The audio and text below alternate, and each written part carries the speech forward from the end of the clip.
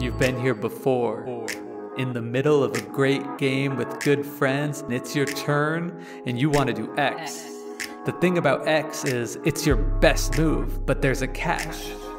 If you do X and the next player, well, if she does Y, then X won't achieve what you want at all. But you don't know what she's gonna do. And more importantly, you don't know if she knows what you wanna do next, but you have a guess. So you make your move and do Z.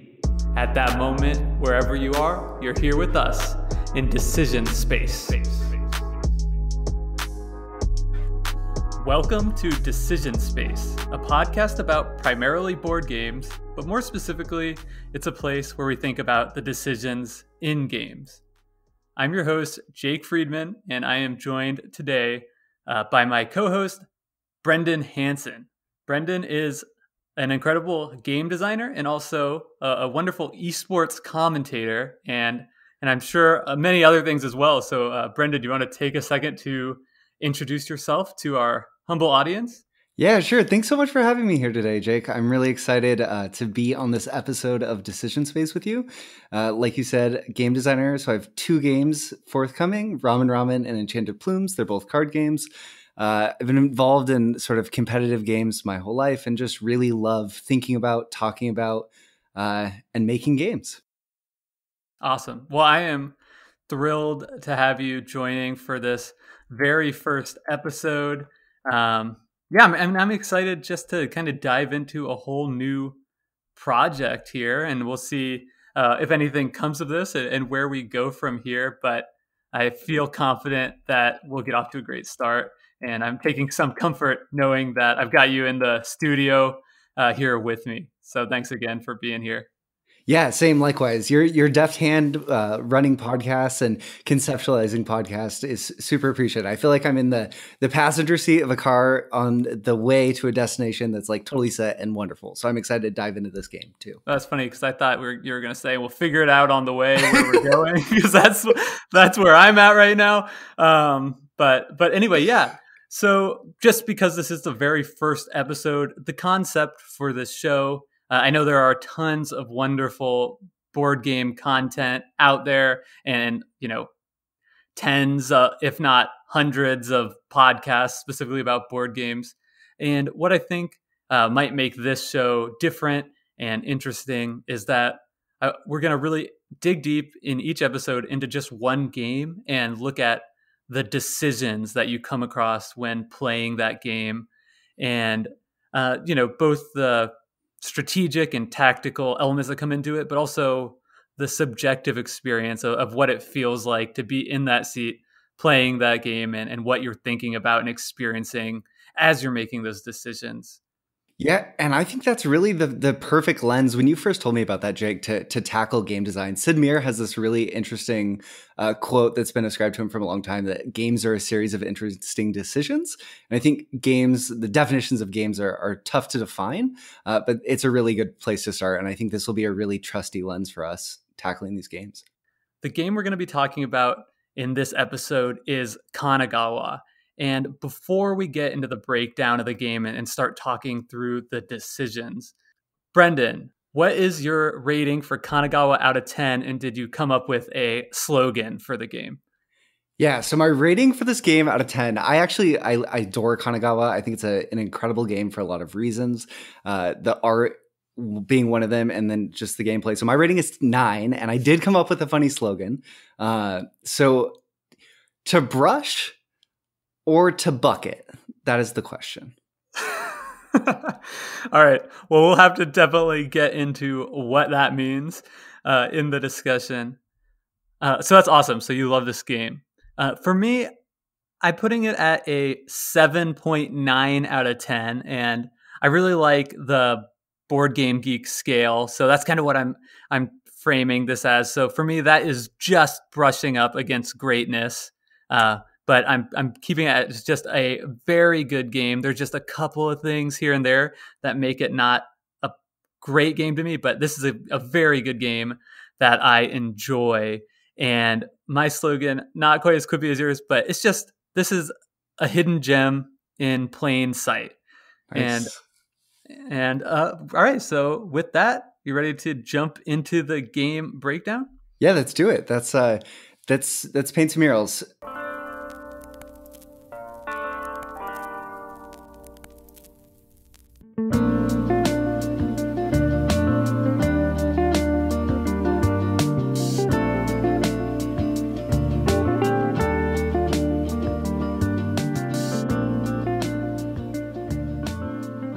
All right, so this is our first episode of Decision Space, and, and Kanagawa is not necessarily a huge game. Uh, so I'm curious, can you talk a little bit about why you chose this game uh, when I came, came to you with this concept? Yeah, absolutely. So you you sort of pitched this concept to me, and I the first game that jumped in my head was Kanagawa, and I think the reason for that is because the way in which decisions are structured in Kanagawa is really upfront and forceful. Uh, some games, I think, sort of. I, I, don't know that they hide their decisions, but they they don't sit as uh, clearly or as blatantly on the structure of the game as as others. And I think Kanagawa is so clearly uh, designed in a way where the decisions jump out at you. And there's a ton of thought in the way in which the game is designed, sort of asking you to make decisions constantly. Uh, so to me, it seemed like the perfect jumping off point because the designers, Bruno Cathala and Charles Chevallier, I, I hope I said his name, uh, Charles's name right there. Uh, I think we're really careful to give the player a ton of choices and they just jump in at different moments in the game and say what do you think about this choice or what do you think about this one and gives the player a lot of agency uh, and decision space yeah i think that is uh, fantastic and that really hits the nail on the head when yeah, and when you suggest that it's funny because um, and this kind of goes into my slogan but kanagawa is a game that i already had in my collection and already adored uh, and it's probably the game that I've I've recommended to mm. people mm. most in the context of like what's a game that doesn't get enough love or or what's a game uh, that you don't think enough people know about and Kanagawa is always one that comes to mind for that. So I've offered this as a recommendation to a bunch of folks. So for that reason it seems kind of fitting too uh, to dive into a bit deeper. And then like you right I feel like the decisions are frequent and they're also very distinct uh, which makes it a I think an ideal trial run to see if this uh, concept does indeed bear fruit and if we can get into uh, some interesting territory as, as we think through those decisions. Yeah, absolutely. And I, I also think that in a lot of ways, the game itself is very inviting and sort of anyone can pick up and play it. Like you mentioned, it's one I'm quick to recommend to others too. It's one I've played with my family a lot. Uh, so I think in, in hopes of sort of finding our, our podcast uh, footing, it's a good one because it's literally a game that I think would appeal to almost any any gamer. I agree, and let's help our audience find their footing by rolling the game overview.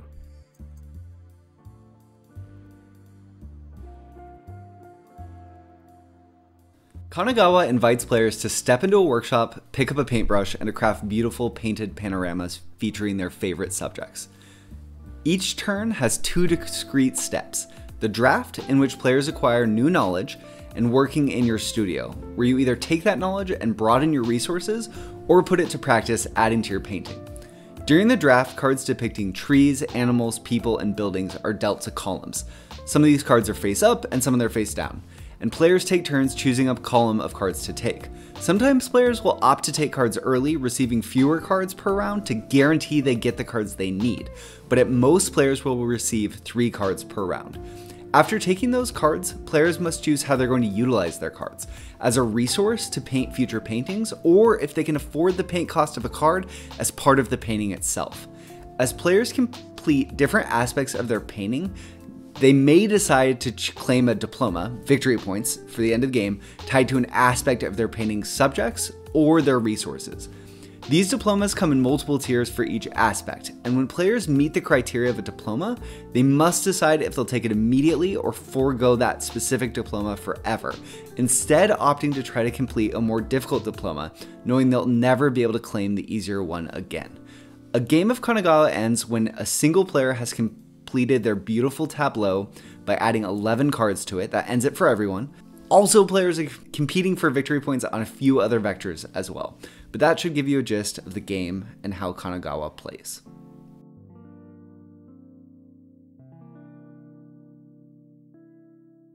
Thank you for that wonderful game overview.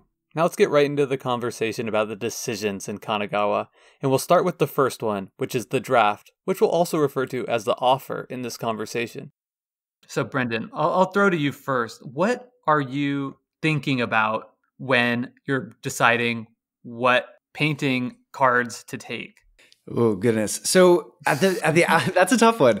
Uh, one thing I love about Kanagawa is what you're thinking at this point in the game can vary really dramatically at different points in the game, right? Like at the outset, I'm really looking at my starting tile. Uh, every everyone starts with a starting tile and you have a season on it. So I, I want to make sure I match that season. Uh, and then I'm also just thinking like, what are the most efficient tiles out here? Are, are there any like, are there tons of trees on in one of these columns? Am I doubling up on any sort of resources? Um, I'm also looking at other players' boards somewhat. I'll, I'll do that a little bit more in two and maybe three player games. Uh, in a four player game, it gets a little bit harder to sort of deny people what you're looking for. Um, but one thing I think when we were playing this, Jake, that's also so interesting is making the decision to take early with the round mechanic of the the tiles being added as you go. And if you really want something being willing to sacrifice just taking one tile or just taking two. Yeah i think that is a huge decision point in the game.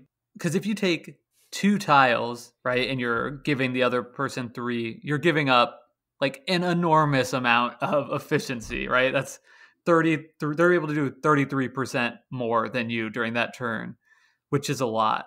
So, you know, if you're doing that, it better be worth it to you, you know, and really valuable.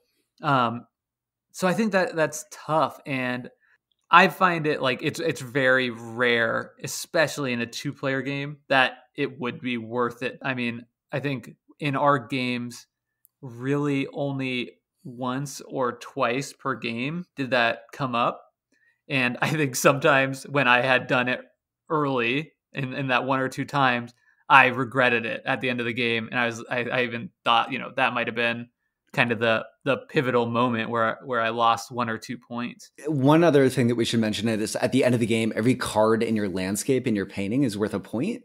Um, so not every card that you draft is going to end up being a point in Kanagawa that you get because you could end up just having to play them as uh, resources to your studio. But I think having that that framework of maybe like every card is worth a third of a point or half of a point sort of puts that into perspective a little bit potentially for players. And going early is is definitely detrimental uh, in a two player game when you know for sure everyone else is going to go to three all the way. Yeah, one thing that makes this the decision so interesting too is it has a tendency to shift throughout the game. Mm. Like in the first turn, right? You might you get you only have one type of the four different landscapes that you're able to paint with your starting tile. I find when I'm playing that I put like a high priority mm-hmm. on taking a tile that I know I can add to my studio right away that first turn. By doing that, I am perhaps not maximizing what I could be adding to my studio for a long game, but getting that one card early on is a lot of times really valuable because it also can help inform the types of uh, diplomas that that you might be going for, right? Because at the beginning of the game, you're not going for any kind of diploma necessarily. It's a clean slate. Sure, totally. And and like you mentioned too, Jake, interestingly at the outset, uh, it's impo- on your very first turn of the game, it's impossible to build to paint two cards into your uh, painting because even though is that true? That is true because you only the maximum you'll get three cards, uh, and the minimum that cards cost is one of a paint type. So you could never place two cards and paint two cards. So you're always just going to be able to paint one painting on that first round. I think uh, you can paint two because can you paint two? Your your starting tile has allows you to paint. Oh, you're so right. So you I'm sorry. Yes, no, you're good. But yeah, yeah, yeah. I mean, being able to paint uh, two things in that first turn that be is a pretty big advantage theoretically, right? Because that that's working towards all these diplomas. Um, theoretically, not every single card you paint works towards a diploma, but uh, the majority do, right? The majority have some feature besides just being a blank landscape, whether that's a person, a house, an animal, a tree.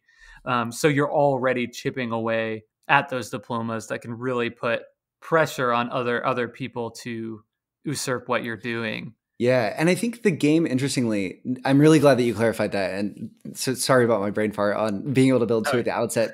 But the game sort of gives you the choice. Do you want to do you want to specialize or do you want to be a generalist in terms of that first diploma? Right uh, from the outset, are you going to race really hard for one thing and try to push to the top of it, uh, maybe, or spread wide, wide and keep your options open of what you're going for? And I, I really like that.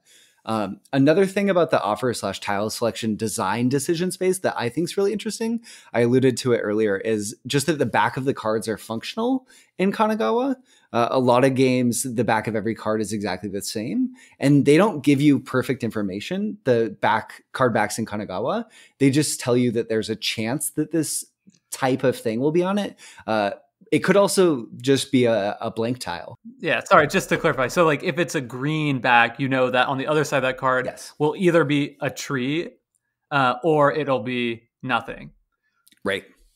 Exactly. And that just having that little bit of information can make players be willing to take risks on taking cards early that they might not otherwise. There are a few times in our game, Jake, uh, are the games that we played where the second so in a two player game the second card that comes out uh, in column two will be obfuscated so you won't be able to see what it is you'll just see the card back uh, and one time specifically, the first one was an animal. I think it was uh, the deer animal that comes out. And the animals are interesting. Sort of all of the different card types ask you to set collect in different ways. And the animals are sort of uh, about making pairs, or, or there's one where you make a set of three uh, and they interact in interesting ways. So I knew that there was some small chance, it was towards the end of the game, that if I took those two tiles, I would get just what I needed and I would get the deer and the boar for for one of the diploma sets. And it was there was a slim chance that i could sort of throw a hail mary and get it. And i think that round i went for early and got it uh, and it was really advantageous. So uh, that's just an interesting uh, potential way that you can that the designers made it such that you don't have perfect information, but you're not just picking blindly. It's not just a random card. Yeah, and I think it also to add on to that, the choice to have some face down card does something really interesting. It has an interesting effect on the subjective experience of playing because I think when I'm playing the game, just knowing that there's a face down card that I can't get perfect information no matter how much I try really discourages me from trying and mm. looking at everybody's tableau and mathing out exactly how many trees everyone has, how many yeah. buildings everyone has, you know, because that information's all there. You can look at it. And I think like obscuring some information is kind of signaling the players in some way, it's like, chill, it's not really that kind of game. Totally. I think that that's one of the most generous game design decisions they could have made to the players, like you're saying. Uh, it, it just allows everyone to relax. And I think that there's also a lot of pressure in games that are perfect information draft games, right? Like everyone's board is completely open information. If all of the cards were also open information, that can be really paralyzing because there's this desire to want to analyze and also you sort of feel judged for the decisions you're making. And just by hiding that little bit, it, it makes the decision space just cloudy enough that you can you I, I don't want to say you can rest on your laurels, but you don't feel the pressure that you might if it was completely open information. So that was like brilliant, brilliant little design decision from of vet- veteran designers that I think made the difference in this game. I think it would be a fundamentally worse game if it was all open information. Yeah, it like takes that objective right play almost off the table. Yeah. Because yeah, so you don't have the pressure to strive for it. I think I'm reiterating what you're saying, but I, I agree.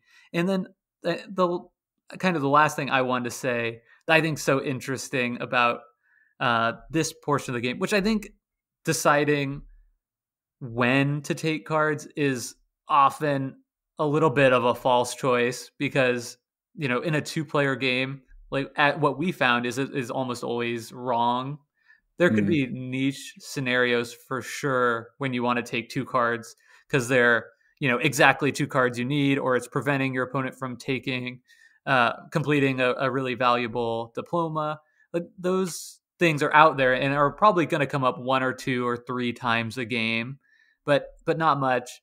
I don't know if taking one card would ever be correct in a two player game, right? Taking just giving away 66% of your efficiency. Yeah, the only thing that I could think of is if the two of you were really racing and you'd both passed on the first two diplomas of a type, maybe of the trees, let's say.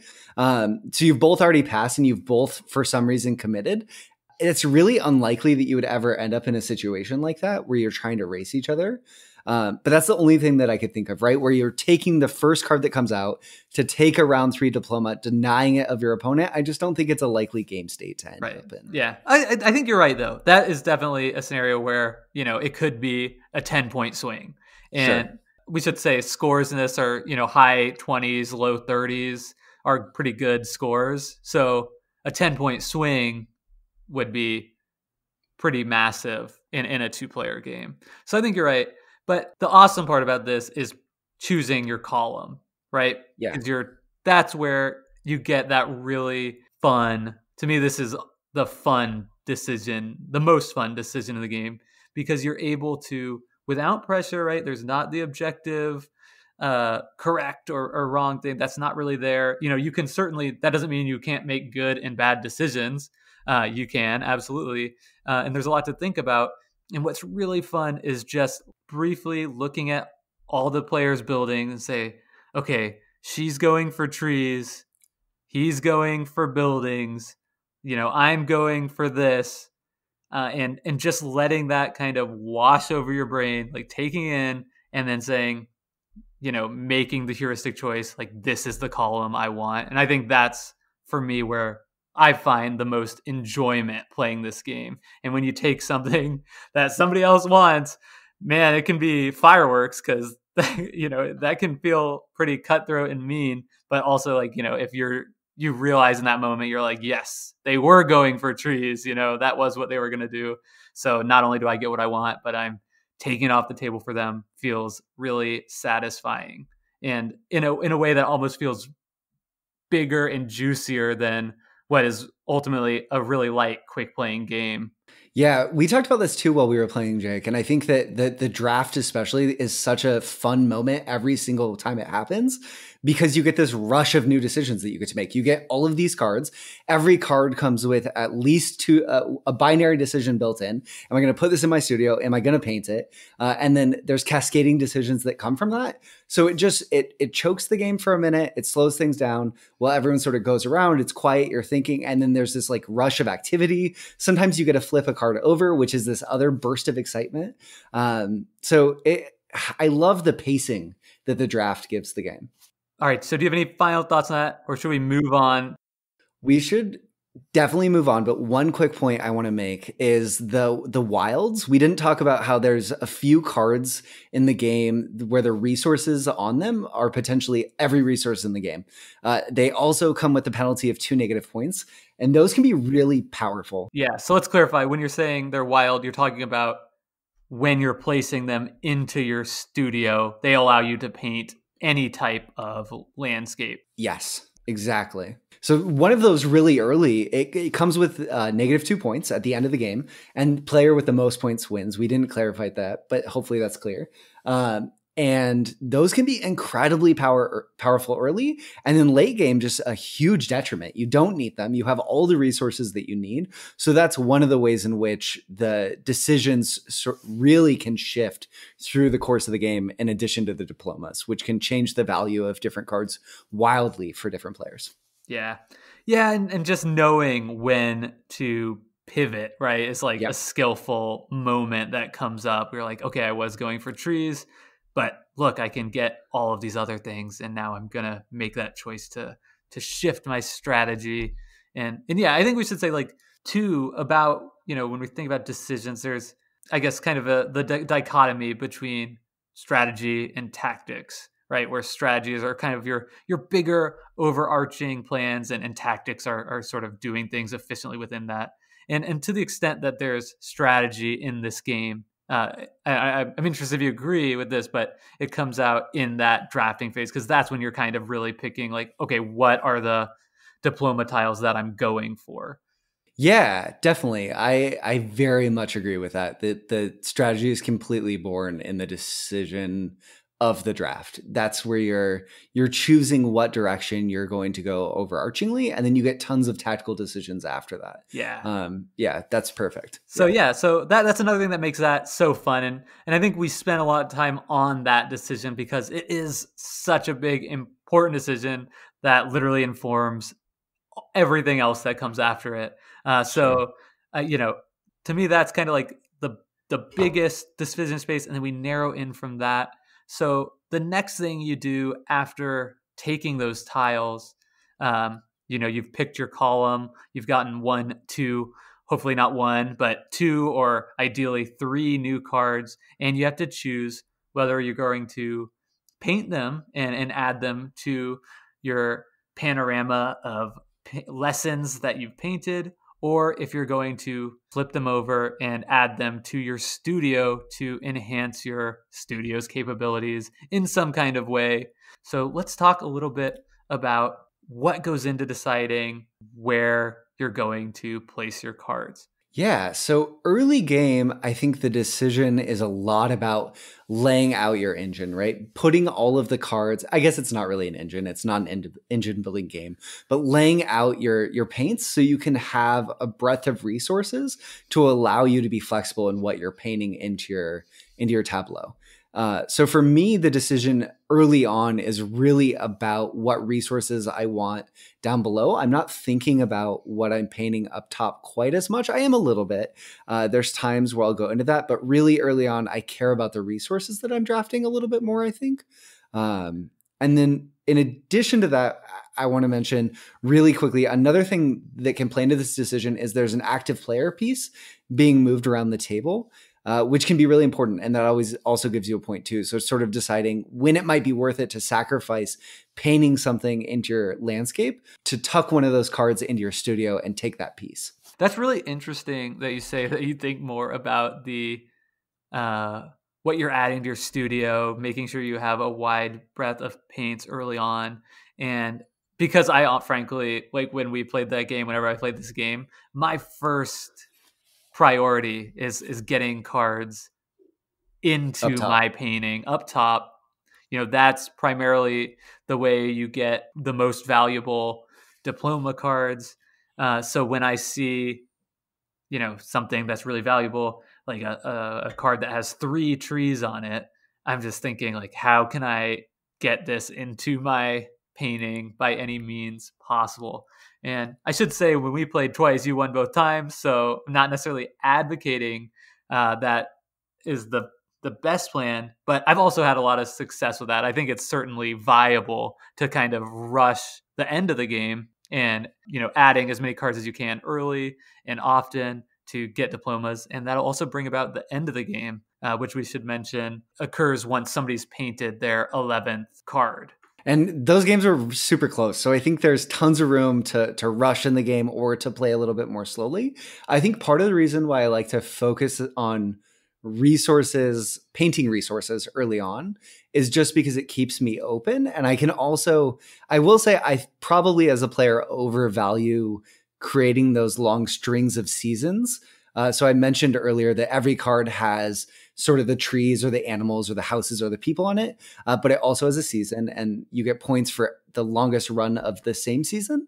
And I think that there's probably a little bit of weakness in that strategy that I mentioned, uh, just because if players key into sort of hate drafting that away from me after it gets a little bit too long. I think it could be a fragile strategy. Um, but regardless, I like being able to stay open, know that I can bank some points that way, and then sort of see what comes my way and then play into it later on. So I guess strategically it leaves me open. Yeah. Right? Definitely. And and I have also seen people really paint themselves into a corner uh, by not giving themselves access to different types of paints. So just yeah. to be clear again, every time you're adding something to up top to your panorama, you know, there's four different landscapes, forest, water, mountain, and plains, and those same symbols appear on in your studio and those are the spots where you place your paintbrush that actually gives you access to paint that. So I've seen people when it, it becomes the fourth fifth turn of the game and they they only have the ability to paint one or two types of landscapes and that really limits uh, their options in the game. And and that that's probably not a huge decision point. It's more something to watch out for. You should not do that. Yeah totally. And there are definitely times though where you end up with a, a set of cards in your hand and you're like oh i really really really want to paint this one in my into my landscape. But that card might like you're saying jake uh, it might be early on in the game, the first third, and that card might be a new resource that you could add to your studio. And that tension between, oh, I really want to put this boar up here, or I really want to put this set of three trees, but I also really need the mountain that's on it. I think that tension is is one of the things that makes me enjoy the system of this game and that choice that comes from when you get these rush of cards and figuring out how to put that puzzle together. And like you're saying, sometimes you make the choice because the diplomas are sitting in front of you. Like, okay, this is my rush of points. I'm sprinting. I'm going to play this card and then I'm going to focus on resources and we'll see what other diplomas I can get in the future. I'll take one of these early ones. Um, but it definitely does leave the player room to put themselves really on their back footing. Uh, I also think I maybe now is not. I I don't know. I'll, I'll, save that thought for the end. Actually, sorry, Jake. I the drafting and yeah, yeah. yeah. We'll, we can come back to it. Okay, cool. No, that sounds great. You gotta say keep some in the hopper. But yeah, I agree, and I think that is the interesting decision that comes in this phase of the game is when you have tension because you want to put something in both yeah. spots. But more often than not, uh, it's just boom, boom, boom, right? You're like, yep, I can't paint these two, so I'm going to put them in my studio, and I can paint that, so I'm going to yep. paint it, uh, and and that's okay too, I think, because this is also something that happens separately. Like as soon as you take your column of cards, you place all your cards, and then the offer resumes. The other player then will take their card, their column of cards, uh, and can use whatever you've done to inform their decision, which is another mm-hmm. advantage, I suppose, of of taking a later column of cards. Um, but yeah, so I, I, think that's okay because that's something that you want this part of the game to happen pretty quick. Uh, and I think if if it gets bogged down too much, if there's if it's too difficult to choose, then that might actually do a disservice to to the enjoyment of of play. Sure, definitely. It's it's a quick game. It's a light game. It plays in what thirty minutes, maybe. I mean, in two player, we're we're knocking out in like fifteen minutes. 15, I think. Yeah, yeah. So not having it, I, I think the fact that the when you're placing your cards is almost always a decision point, but not always is kind of interesting just because it functions as sort of a built-in break sometimes. Yeah. Like you were saying, sometimes you just get dealt a hand or you end up, dra- excuse me, drafting cards that you don't really have a choice. You can build this one and the other two you can't. Sometimes that feels good. Totally. Yeah. You're, you, I, I think so. Yeah, that's what I mean. Like if every single card was a painful choice, right? Sure. Because you desperately wanted it in both spots. That I think is what I'm I, uh, what I mean when I say that would be yeah. a disservice to the game because it would take something away from like the light, fun enjoyment that I get out of this game. Definitely. We also mentioned too the sort of tension by the end of the game of putting things in the bottom almost dissipates completely and you're just focused on painting uh, the top side and collecting diplomas which i like too. We've talked about how there's a turning point in this game right? Uh, there's at some point after x amount of drafts the game has reached the end game point and everyone's rushing for the end and you have to know how to time that as a player. And i think that sort of meta decision thinking through how everyone else is playing what goals they're looking for and sort of where you are at progressing in your goals is really rich and interesting too because it makes every game feel a little bit different. Yeah that, that's kind of like the heuristics you know the the little bits of information that you're taking into your head when you play throughout the game. It's always important to be collecting like what are people doing how far along are they going and how much time is left in this game because all of those sure. things will help you make smarter decisions in this space. So even though it's generally a quick small thing there's there still can be a lot you want to take in that makes this decision feel a little bit more robust at times. Let's get into uh, something that we discussed before. So the, the next thing is a really small decision in the game but still one we wanted to bring up uh, because it can be absolutely pivotal. And that is how you place your paintbrushes on the bottom part of your tableau or whatever you want to call it in your studio to paint paintings. Yeah, so you always start the game with two paintbrushes, and you're pretty much you're shuffling them between what's down there. Uh, you can, can you can eventually get more paintbrushes. We were sort of just talking about this, but this decision is really interesting because the amount that it's meaningful decreases dramatically as the game goes on. You get more ability to move pieces. Initially, you can only move paintbrushes once per turn. So you're fairly locked into things. You'll get the opportunity if you add them to move them more. And I think that's a really interesting decision arc. And that early on, it matters a ton. And then it really has a downward trend. Uh, and also, I think that because of the wild uh, pieces that you can end up putting down in the bottom, the ones that count for everything, that can also just sort of negate decisions. Once you have one that counts for everything, there's no reason to ever move your paintbrush off. Yeah, and we should say so. Not only do you, have two paintbrushes, you can place them, and then there's another symbol that comes up on the card, which is like a two-way arrow that allows you to mm-hmm. move paintbrushes off of one pot or whatever to the other. uh, so, and you can only do that once per turn at the start of the game, but you have the potential to add more to allow you to move two paintbrushes.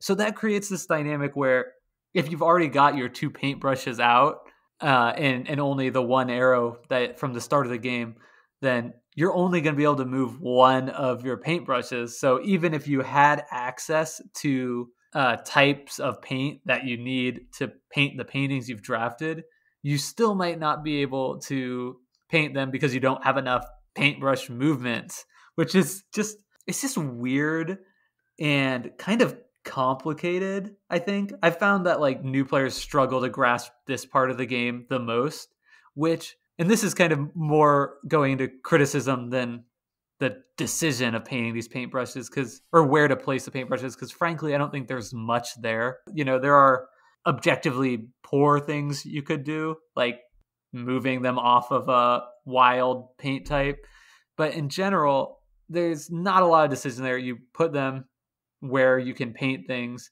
ideally. But yeah, so it's it's frustrating a little bit to me this because sometimes you get into a situation where you just can't paint things through no fault of your own and it's impossible to like plan ahead really to think yeah. like I want to leave this on the plains because I know there's more plains cards in the deck Sure. And being tripped up uh, over a really small decision, I agree that it sort of it feels a little bit like extra added complexity. Uh, I get why it exists. That you, you always want something to do with those cards.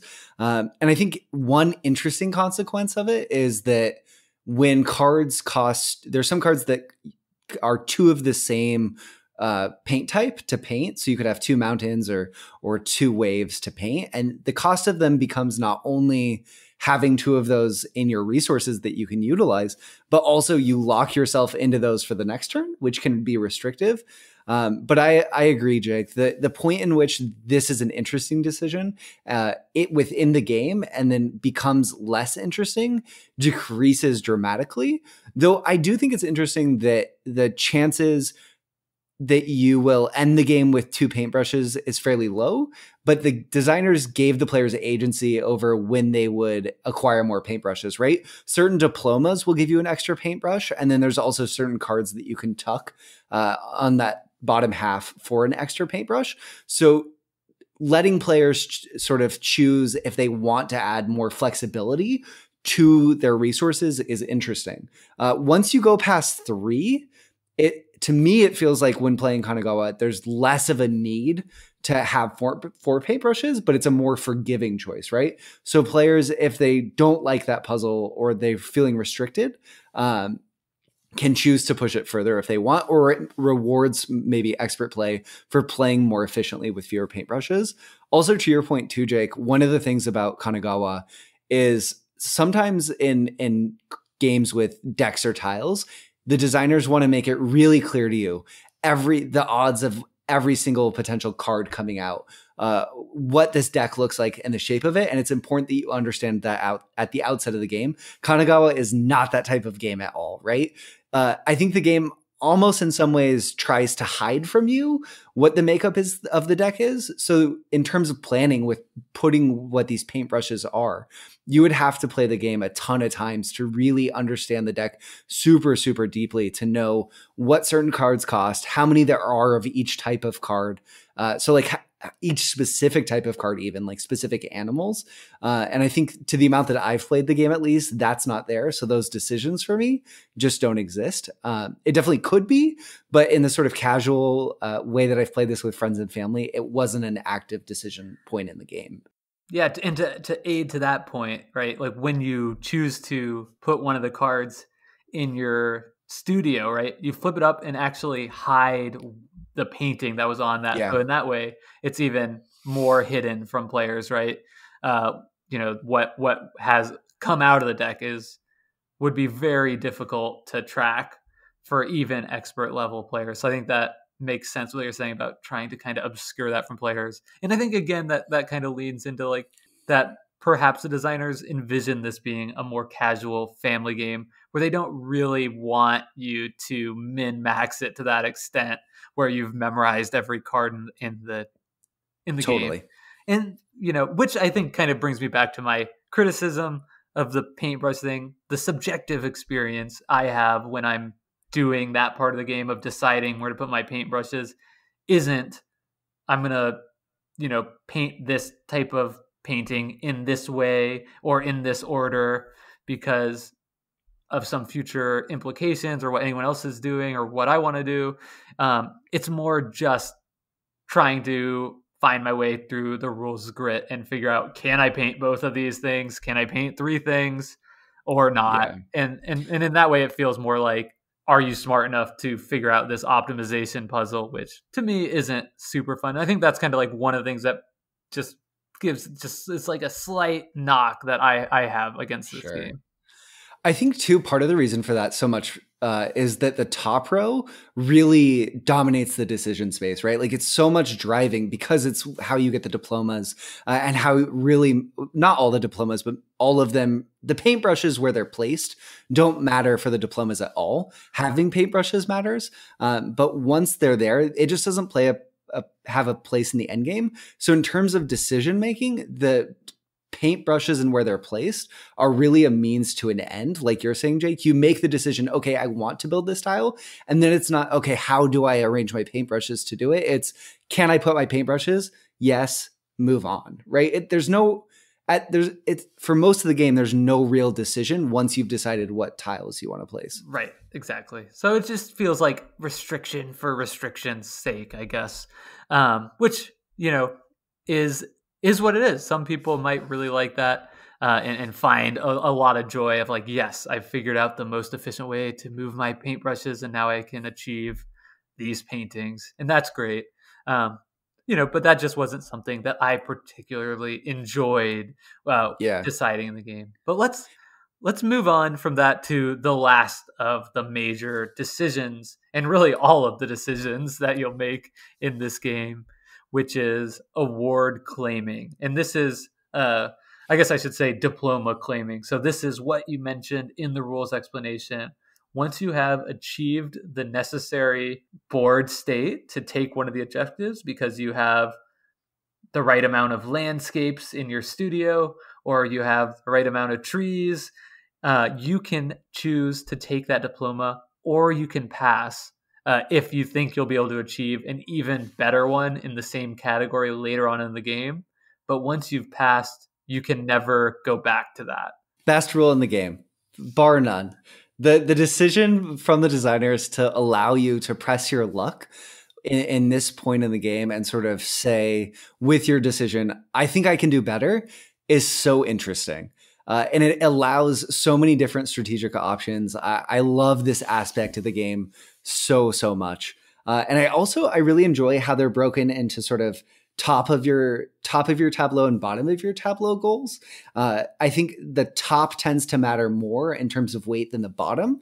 So diploma wise, it's a little bit top heavy. Uh, but with that said, I think that there's there's a lot of interesting decisions that you can make here too, because of the different things that they added to the diplomas to sort of sweeten the pot that might make you want to go for for a certain diploma uh, versus others when pressing on might be a sure bet otherwise given the game state. And I guess what I mean by that is there's sometimes you'll get a paintbrush associated with them or the first player marker.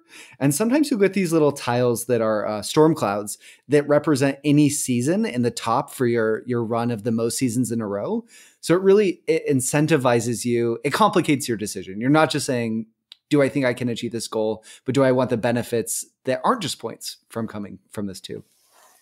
Yes. And you know, that's, again, that's funny that you say it complicates your decision making, and I guess it does because I, I agree with what you're saying. Right? It it makes an extra level to everything, like what you're the cards you're taking, how you're placing them into your studio or into your painting, and but like to me the effect it has is almost to like distill what you're accomplishing like this mm. game is all about those heuristic decisions of or you know or sorry i should say the heuristics of, of thinking about what everybody else is trying to accomplish and how that impacts what you're trying to do and then sure. this diploma lets you call your shot right so you're yeah. taking in all that you're like they've got one tree she's got two trees i've got one or i've just got three uh, so do i want to take that you know no i'm gonna press on because i don't think they're really going for that. That's more incidental to them and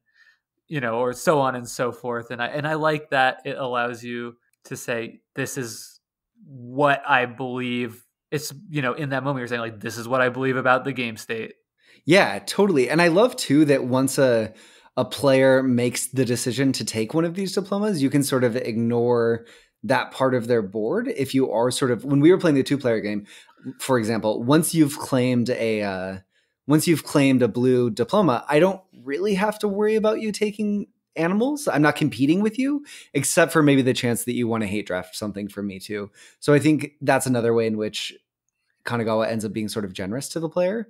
Um, I think that the decisions here generally, I don't know. Do you think, Jake, that the decisions with the diplomas end up feeling complex or just uh, or enrich or are they easy but beneficial to the game state? I, I, don't know where i fall on that. Oh that's an interesting question. Yeah and it's i mean that this is what i think is so fun about uh this podcast. It's just like what do those decisions feel like? And with this diplomas what i feel like is even though it's hard it isn't like painful in that same way. Like I, I, think I don't think it's an easy decision, right? I think because yeah. there are a lot of factors that come into it that are unknowable to you, right? So like you don't know what your opponents are trying to do. You know, somebody could have two trees but it's really like incidental because they uh, you know they just grabbed them because it, it added to their string of seasons mm-hmm and they also have three houses so you know they really want to get that fourth house and they're not going to prioritize that. And you also don't know what cards are going to come out of the deck right? So you know it could be that you are are going to wait on an animal to show up that just never comes in sure. the game. So it doesn't feel like it has that same stakes of, of right and wrong. When i'm making that choice like the feeling is good. Like you feel powerful in the moment because a you've already achieved something so that feels good right? You're like i've already done this and what i'm saying is like i'm going to do even better than that. So it just feels like fun. It's like a moment of like a show of strength almost. I don't know if that makes sense. Yeah i don't think that there's a ton of i don't often play games where they allow the player to make a decision that could almost come off as like cocky that's like a weird thing for a decision in like sort of a, a Euro game to allow you to do. But Kanagawa definitely sort of lets you do that by not taking an objective when you achieve it to press for something more. Uh, and I, I love that about the game. Um, it can also really punish your hubris, right? If someone beats you to the to the third tier diploma that you needed could just be devastating. You just locked yourself. You never get to go back and pick the earlier diplomas. You're going to miss like seven or more points. Oh, it feels so bad. Yeah. It also makes you a target. And I think, yeah, you know, if you pass on the second to last, right? Meaning you can only get the final biggest diploma. Somebody might just incidentally say, like, you know what? I don't want you to have seven points for that. Yeah. So I'm going to you know, just you know they're incorporating that information into their decision making so now they're deciding between one or two columns or like that are roughly equal to them. Like oh, also i'm going to take the one break the tie with the one that screws brendan over from get, completing his diploma. So yeah so it, it it changes the whole game state not just for you but to everyone in an interesting way. So yeah so i mean i think that is like fantastic and rich and a lot of fun I totally agree. And really quickly, I'll just say I would love to see more games that have press your luck mechanics that aren't just built on output randomness, right? This is like real real input randomness in a way, right? It's not like you're you're making this decision and then you're rolling the dice and seeing the consequence of what happens. You're making the choice uh, and I guess there's probably some output randomness and the chances of like what cards come out and that sort of thing. But it's not like you get the the decision right away, and it's so much dependent on other players' choices. And you have a lot of information going into that decision to press your luck too. Do you have any thoughts, uh, any other thoughts on kind of these diplomas and what it feels like in that decision space? I think that we covered it for the most part. I will say I think they're really wonderfully designed. Uh, the way that the trees just scale from you just want the most possible three to three to five or more. Great. The buildings you're always going for different. That's really interesting uh, in terms of decisions and what columns you might take. I think that adds a lot of texture to the game. And then the way that the people are designed, where the first two you want different people but the, the the one that's the most you want the three of the same type of person i think that inversion is really clever and that can make your decisions uh, kind of tough early on right? Because it, it flips the whole decision paradigm on its head. You can't you you kind of can't go broad and when you're picking cards if you're if you know you want to go for the person for three right so that's that's kind of interesting because you need three matching people, and that's a big investment to get three matching people versus three different people on your board. Yeah, honestly, good luck with that. I mean, like that one in particular seems very hard to achieve. Like you almost would have to like fall backwards into it. Like you get a tile early, or you know, you get a column early on that has two of the same person or something. But it seems hard to like. I don't think you could have success if at the beginning of the game you're like, you know, before any cards were dealt and you say, I'm going to go for the three of the same person. Like, I don't think that would go well for you. Yeah, certainly one that's probably easier at higher player counts too, where you're seeing more cards. I think this is also the fact that all the diplomas are the same but different is another way the designers obfuscate the game state. It just makes it a little harder to parse. Uh, you know, if yeah. everything was like, okay, if you get three of these, you get three points. If you get four, it's five. If you get five, it's seven. If that was the same with trees, people, and houses, it would make the game state feel more parsable in a way that would make you want to do the math and look at everyone's board and really spend a lot of time thinking. But because like the trees are different than the houses, than the people, than the landscapes, you know, the information overloads you in a way that's like you can't really look at it and understand everything. So you just have to make the choice of, of letting in the things that you think are the most important bits of information and making decisions based on that, which I think is fantastic and, and really smart because the more understandable a game this late is, I think the more it kind of would fall apart. I completely agree. And I think that one thing that we'll probably dive in, or you'll dive in on the podcast in future episodes too, is just I think it's interesting how it's always the same framework in which you're making these decisions. But because of the design of the diplomas, you're making different types of decisions within that same framework. And that gives such a rich texture to the game. And it lets your brain play with these a functionally a very similar problem that feels completely different. And that's just brilliant. I love that about the game. That's awesome. Uh, well, let's leave it there. And I do want to say, if you, I know you had something you wanted to come back to. If there's any final thoughts, I'll leave this as a cliffhanger. Kanagawa never could have existed without Seven Wonders being designed, and it's a, a spiritual sequel that's simplified by a different designer. Food for thought.